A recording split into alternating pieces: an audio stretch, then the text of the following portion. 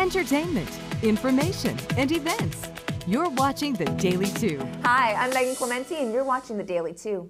A patient's life can truly depend on their hospital safety record. Parrish Medical Center in Titusville has consistently demonstrated just that, earning an A grade in every Leapfrog Group reporting period. Parrish is one of only 63 hospitals nationwide to be part of this exclusive group. With me today at Parrish Medical Center is the CEO of the Leapfrog Group, Leah Binder. Leah, welcome. Can you tell us what you're doing here in Central Florida and what exactly is the Leapfrog Group?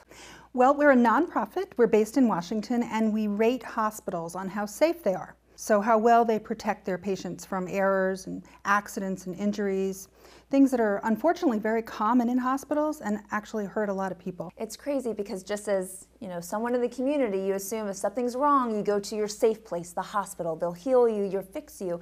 But I guess that's not always the case. Safety is about did my nurse wash her hands every time she came in the room? I mean, it's very, very simple steps, but they have to be taken every time for every patient, every minute of every day. So really it comes down to human error. And Parrish Medical yes. is one of those hospitals that really just makes sure their staff is extremely trained.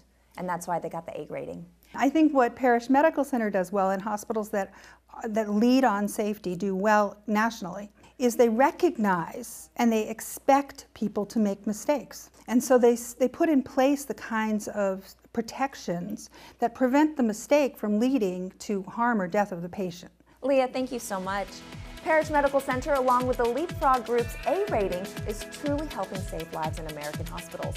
If you'd like to see your local hospital's rating or simply need advice, please visit hospitalsafetygrade.org. Till next time, I'm Megan Clementi with The Daily 2. Thanks for watching The Daily 2. For more information, visit WFTV.com slash Daily 2.